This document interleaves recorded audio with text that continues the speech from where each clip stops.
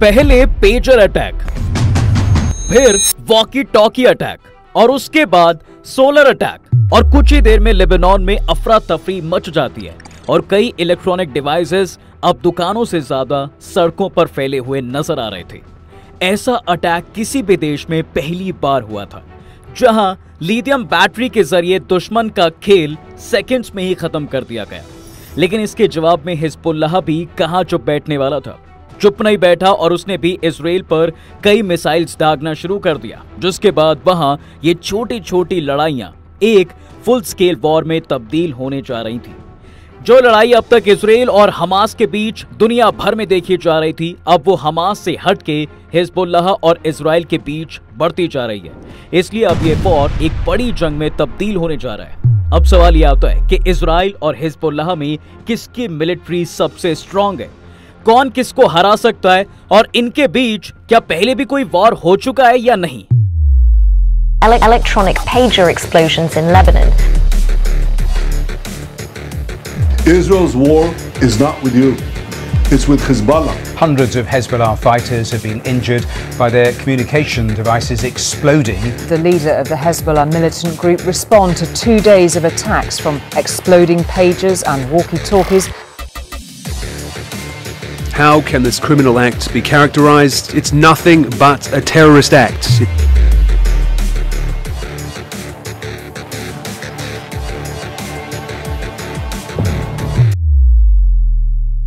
देखिए, हिजबुल्लाह एक Lebanese, Shia, Islamist, political party और मिलिटेंट ग्रुप है, जो ग्लोबली सबसे भारी हथियारों से लेस एक ऑर्गेनाइजेशन है, जिसको ईरान एक बड़े पैमाने पर सपोर्ट करता है 1980 के दशक में लेबनान में एक भारी पैमाने पर सिविल वॉर चल रहा था और इस समय ही सबसे पहले हिजबुल्लाह ग्रुप बनाया गया था। शुरुआत में इसका फॉर्मेशन साउथ लेबनान पर इजरायली कब्जे का मुकाबला करने के लिए किया गया था, जो 2000 तक जारी रहा, जब तक इजरायली सेना वापस नहीं गई। लेकिन तब के हिजबुल्लाह और आज के इस ऑर्गेनाइजेशन में ज़मीन आसमान का फ़र्क है।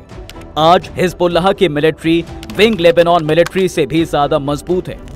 हिजबुल्लाह इतना ताकतवर हो चुका है कि आज लेबनान को पीठ पीछे कहीं ना कहीं वो ही चला रहा है। इसलिए हिजबुल्लाह की मिलिट्री के पास दुनिया के बेस्ट हथियार मौजूद हैं और उसकी ग्राउंड फोर्स में भी कई लोग शामिल हैं। हिजबुल्लाह के नेता हसन नसर अल्लाह का कहना था कि उनके पास एक लाख फाइटर्स हैं।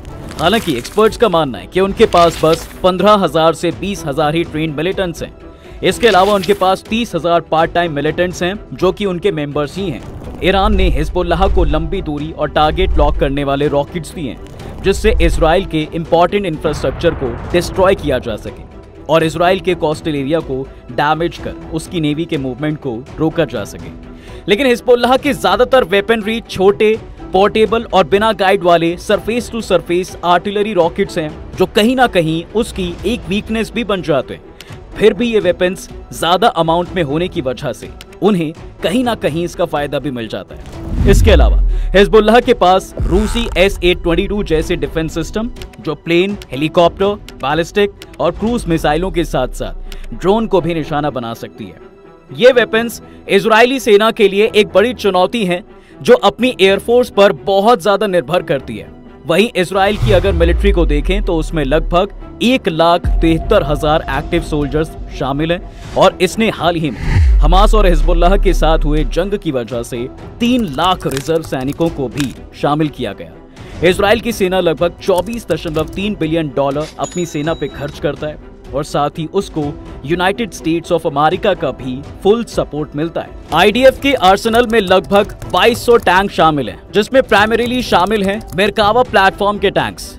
इसके अलावा 300 टोड अलेट्री आर्टिलरी पीसेस साढ़े छह सौ सेल्फ प्रोपेल्ड गन्स और अमेरिका द्वारा बनाए गए M two seventy multiple launch rocket system जैसे 300 रॉकेट आर्टिलरी सिस्टम्स लेकिन आईडीएफ की प्राइमरी स्ट्रेंथ उसकी एयरफोर्स है, जो बड़े पैमाने पर अत्याधुनिक अमेरिकी एयरक्राफ्ट से बनी है, जिसमें सैकड़ों एफ़ सिक्सटीन और एफ़ थर्टी फाइव जेट शामिल है। आईडीएफ अपने स्पेशल फोर्सेस के लिए भी जाना जाता है, जैसे कि Sayeret Matkal unit counter terrorism और हाई वैल्यू टारगेट ऑपरेशंस में एक इंपॉर्टेंट रोल निभाती है।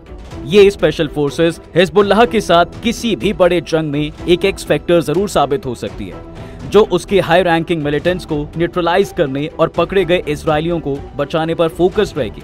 अगर दोनों की बात करें साहब तो हिजबुल्लाह एक यूरोपियन कंट्री के बराबर मिलिट्री पावर रखने वाला देखा जाता है। जिसमें रूसी और ईरानी सेनाओं के साथ ट्रेनिंग दिए जाने वाले स्ट्रॉन्ग मिलिटेंट्स शामिल हैं। और इसके साथ ही उनके पास इन दोनों देशों के टॉप हथियार भी हैं।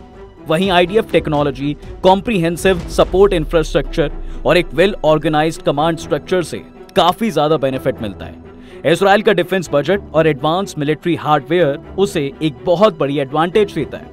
हालाँकि हिजबुल्लाह के पास एक्सटेंसिव रॉकेट बैराजेस का बहुत अच्छा सिस्टम है। इसके अलावा उनकी ग्वेरिला वॉरफेयर टेक्निक और ह्यूमन शील्ड का यूज़ करने की क्षमता इसराइली मिलिट्री के लिए एक अनोखा और चुनौतीपूर्ण खतरा बनाती है।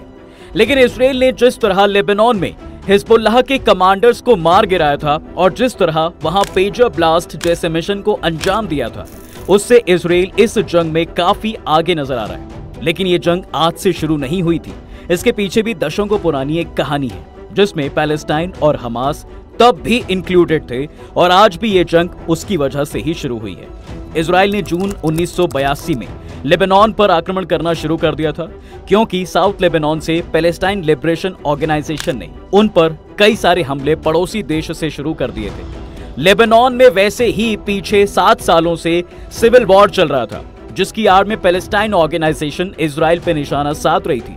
लेबनान में एक फ्रेंडली गवर्नमेंट इंस्टॉल करने की उम्मीद में इसराइल ने साउदर्न लेबनान पर कब्जा कर लिया और वेस्ट बेरूट पर इसराइल की आर्मी ने कब्जा कर लिया, जहाँ पीएलओ ने अपना हेडक्वार्टर बना रखा था और अब इसराइली फोर्स ने उसे घेर लिया था। लेकिन एक समझौते के बाद पीएलओ ट्यूनिसिया के लिए रवाना हो गया, लेकिन इसराइल की सेना लेबनान में रुकी रही और सिविल वॉर को शांत करने में लगी रही। इसराइल यहाँ पैलेस्टीन रेफ्यूजीज और उसके खिलाफ जितने भी लोग थे, उन्हें न्यूट्रलाइज करने का काम करती रही। लेकिन कुछ लेबनीज ग्रुप को ये सब पसंद नहीं आ रहा था। और तब कई सारे लेबनीज ग्रुप्स ने एक अपना ग्रुप बनाया, जिसका काम इसराइल फोर्सेस को लेबनान से हटाना था, जिनमें से एक ग्रुप शिया मुस्लिम समुदाय से था। अब यहाँ से शुरू होता है साहब हिजबुल्लाह का फॉर्मेशन जो कि मुस्लिम नेताओं के दिमाग की उपज थी। जिससे फुली तरीके से ईरान का समर्थन प्राप्त था और उसे इसराइल को खदेड़ने का आदेश दिया गया था। इसमें उन यूथ्स को भी शामिल किया गया, जो मार्जिनलाइज फैमिली से बिलोंग करते थे और जो बेका वैली और बेरूट साउदर्न सबर्ब्स के गरीब एरिया से आते थे, जिनमें शिया मुस्लिम्स को ये चुना करते थे। देखते देखते हिजबुल्लाह जल्दी ही लेबनान में एक इम्पोर्टेंट और स्ट्रॉन्ग फोर्स बन गया। इसके बाद आता है साहब उन्नीस सौ बयासी और उन्नीस सौ छियासी का समय। जहाँ कई डिफरेंट मिलिटेंट ग्रुप्स ने फॉरेन मिलिट्री प्रेजेंस के खिलाफ कई हमलों को अंजाम दिया। लेकिन इन हमलों में कहीं ना कहीं सबसे ज़्यादा हिजबुल्ला का ही हाथ था। मगर यहाँ सबसे बड़ा हमला 23 अक्टूबर उन्नीस सौ तिरासी को कैपिटल बेरूट में देखा गया, जहाँ कई बैरकों की इमारत पर बमबारी में 300 से ज़्यादा फ्रांसीसी और अमेरिकी शांति सैनिक मारे गए। इसके पीछे भी हिजबुल्ला का ही हाथ था। इसके बाद ये वॉर और ज़्यादा बढ़ गया और फ्रांस और अमेरिका के लिए अब हिजबुल्लाह एक मेन टारगेट बन चुका था। ईरान और रशिया के सपोर्ट से अब तक हिजबुल्लाह की लड़ने की शक्ति इस हद तक बढ़ गई कि वो दूसरे ग्रुप्स के साथ इसराइली आर्मी को साउथ लेबनान में लितानी नदी पर वापस जाने के लिए मजबूर करने में सक्षम हो गए। फिर आता है साल उन्नीस अब लेबनान का सिविल वॉर खत्म हो चुका था और वहाँ अब फ्रेश इलेक्शन करवाए जाते हैं। मगर एक शॉकिंग फैक्ट इसमें यह भी था कि इन चुनावों में अब हिजबुल्लाह भी लड़ रहा था। हिजबुल्लाह को काफ़ी लोगों ने सपोर्ट किया और लेबनान की 128 सीटों वाली विधानसभा में आठ सीटें जीतकर पार्लियामेंट्री पॉलिटिक्स में यहाँ से उसकी एंट्री है। मगर इसके बाद उसकी दूसरे ग्रुप से भी सपोर्ट मिलता है और अब अलाइज के साथ उसकी पार्लियामेंट में आठ से सीट्स बासठ हो जाती हैं। अब यहाँ ये सब पॉसिबल हो पाया उसके सोशल प्रोग्राम की वजह से, जो वो उन एरियाज़ में चलाता आया है, जहाँ वो सबसे मज़बूत है, जिससे इसका प्रभाव बढ़ता ही रहा। लेकिन जब सिविल वॉर के बाद टैफ गवर्नमेंट पर साइन किए गए तो इसने सिविल वॉर को खत्म करने और सभी लेबनानी मलेशिया को भंग करने के लिए लेबनान कॉन्स्टिट्यूशन में संशोधन किया। मगर लेबनीज गवर्नमेंट गवर्नमेंट हिजबुल्लाह को खत्म नहीं करना चाहती थी।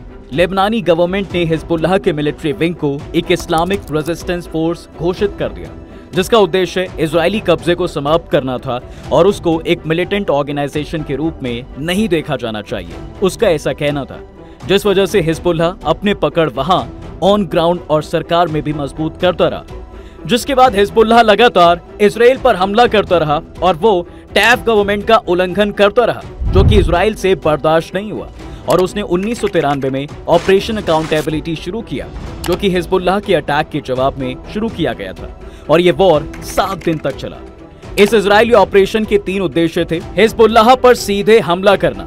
हिजबुल्लाह साउथ लेबनान में जिस बेस को इसराइल पर हमला करने के लिए यूज़ करता था, उसको उसके लिए मुश्किल बनाना, और लेबनानी गवर्नमेंट पर हिजबुल्लाह के खिलाफ प्रेशर बनाना, ताकि वो इस ग्रुप को रोक सके।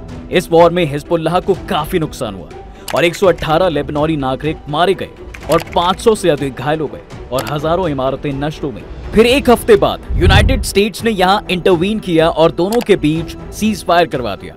हालाँकि उस समझौते का पूरी तरह सम्मान नहीं किया गया। हिजबुल्लाह ने लेबनान के भीतर से इसराइली नागरिकों को निशाना बनाकर इसराइल में रॉकेट लॉन्च करके बार बार इस सीज फायर समझौते का उल्लंघन किया है। हिजबुल्लाह को लितानी नदी के उत्तर में खदेड़ने और इसराइल पर रॉकेट हमलों को समाप्त करने के प्रयास में इसराइल की अगली बड़ी गतिविधि, ऑपरेशन ग्रेप्स ऑफ़ रैथ, अप्रैल उन्नीस सौ छियानबे में फिर से शुरू होता है। यहाँ दोनों पक्षों में मिलिट्री और सिविलियन कैजुअलिटीज हुए और लेबनान की बुनियादी ढांचा पूरी तरह से डैमेज हो गया। इस हमले में कम से कम 106 नागरिक मारे गए और लगभग 116 घायल हो गए। लेकिन हिजबुल्लाह और इसराइल के बीच सबसे बड़ी लड़ाई 2006 में शुरू हुई, जो अब तक की इन दिनों के बीच एक फुल फ्लेज्ड वॉर था 2006 में हिजबुल्लाह के बॉर्डर पार हमले के कारण ये वॉर शुरू हुआ था। 12 जुलाई 2006 को हिजबुल्लाह मिलिटेंट्स ने बॉर्डर पार करके इसराइली हिस्से में पेट्रोलिंग कर रहे दो सोल्जर्स की जान ले ली। इसके अलावा हिजबुल्लाह ने कई सारे रॉकेट्स इसराइल बॉर्डर टाउन्स में दागे, जिससे इसराइल ने भी इसका मुँह तोड़ जवाब दिया। घात लगाकर किए गए हमले में तीन सैनिक मारे गए। दो इजरायली सैनिकों को हिजबुल्लाह द्वारा पकड़ लिया गया और लेबनान में चला दिया गया। लेबनान में एक असफल बचाव प्रयास में पाँच और लोग मारे गए। हिजबुल्लाह ने एबडक्टेड सोल्जर्स की रिहाई के बदले में इसराइल द्वारा रखे गए लेबनान कैदियों की रिहाई की मांग की। इसराइल ने इनकार कर दिया और हिजबुल्लाह के ठिकानों पर हवाई हमले और तोप खाने की आग से जवाब दिया। इसराइल ने बेरूत के राफिक हरीरी इंटरनेशनल एयरपोर्ट सहित हिजबुल्लाह मिलिटेंट ठिकानों और लेबनानी नागरिक बुनियादी ढांचे दोनों पर हमला किया। इसके बाद आईडीएफ ने साउथ लेबनान पर ऑन ग्राउंड ऑपरेशन शुरू किया।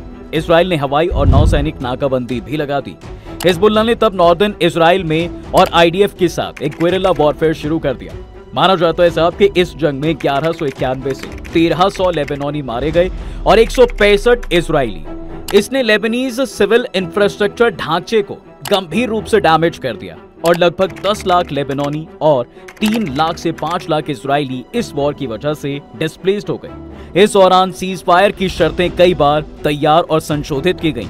फिर भी दोनों पक्षों के बीच सफल समझौते में कई हफ़्ते लग गए। हिजबुल्लाह ने बिना शर्त सीज फायर की इच्छा बरकरार रखी, जबकि इसराइल ने कंडीशनल सीज फायर पर ज़ोर दिया, जिसमें दो जब्त सैनिकों की वापसी भी शामिल थी। वहीं लेबनान ने अक्सर यूनाइटेड नेशन सिक्योरिटी काउंसिल के सामने प्लीड किया और इसराइल हिजबुल्लाह के बीच तत्काल बिना शर्त सीज फायर करने की गुहार लगाई, जिसके बाद दोनों के बीच सीज फायर अग्रीमेंट हुआ, लेकिन इस वॉर का कोई अंजाम नहीं हुआ। जहाँ एक्सपर्ट्स का कहना है कि ये वॉर कोई नहीं जीता, वहीं हिजबुल्लाह और आईडीएफ दोनों अपने आप को जीता हुआ मानती हैं। इसके बाद आने वाले सालों में इनके बीच छोटे मोटे ही एस्कुलेशन देखे गए, मगर ये सब इसराइल और पैलेस्टाइन वॉर के बाद बदल गया। अक्टूबर 2023 में हिजबुल्लाह ने गाजा के समर्थन में इसराइल पर एक रॉकेट अभियान शुरू किया था, जिसमें ग्यारह लोग मारे गए और लगभग ढाई को बंदी बना लिया गया था। इसराइल ने जवाबी फायरिंग की और लेबनान में सत्तानवे हज़ार लोगों को अपने घरों से मजबूरन जाना पड़ा, जिनमें से पाँच लोग मारे गए। वहीं नॉर्दर्न इसराइल के सीमा क्षेत्र से लगभग साठ हज़ार इसराइलियों को निकाल दिया गया। दोनों पक्षों के लोग अभी तक अपने घरों को नहीं लौटे।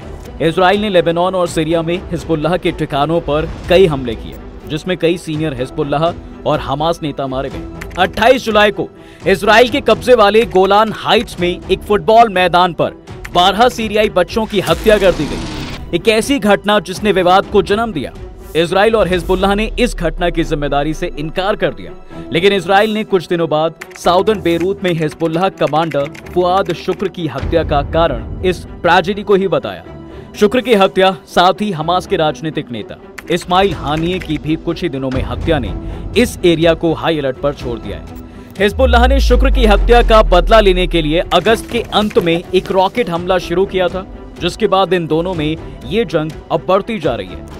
हिजबुल्लाह को शांत करने के लिए इसराइल ने पेजर अटैक करवाया, जिसके बाद हिजबुल्लाह के कई मिलिटेंट्स जख्मी हो गए। और उसके ही थोड़े दिन बाद हिजबुल्लाह के दो टॉप कमांडर्स को भी न्यूट्रलाइज कर दिया गया, जिसके बाद अब हिजबुल्लाह थोड़ा बैकफुट पर नज़र आ रहा है। और अब देखना यह है साहब कि क्या ये लड़ाई 2006 की तरह एक फुल फ्लेज्ड वॉर में बदलेगी, या यहाँ भी कोई देश इन दोनों के बीच सीज फायर करवाने आएगा या नहीं। तो दोस्तों, ये है हिजबुल्लाह मिलिट्री और इसराइल मिलिट्री की कहानी और इनमें से कौन पावरफुल है? आप समझ ही गए होंगे। आपको कौन पावरफुल लगता है? कमेंट्स में ज़रूर बताएँ। तब तक के लिए हम आपसे विदा लेते हैं। जल्द हाजिर होंगे एक नए इंटरेस्टिंग टॉपिक के साथ। अगर ये वीडियो पसंद आया तो अपने दोस्तों के साथ शेयर कर दें। वीडियो को लाइक करना ना भूलें। और अगर आपने हमारे चैनल को अभी तक सब्सक्राइब नहीं किया है तो वो भी कर दें। साथ ही बेलाइकॉन प्रेस करना बिल्कुल ना भूलें, ताकि हमारी वीडियो आप तक जल्द से जल्द पहुँच सके।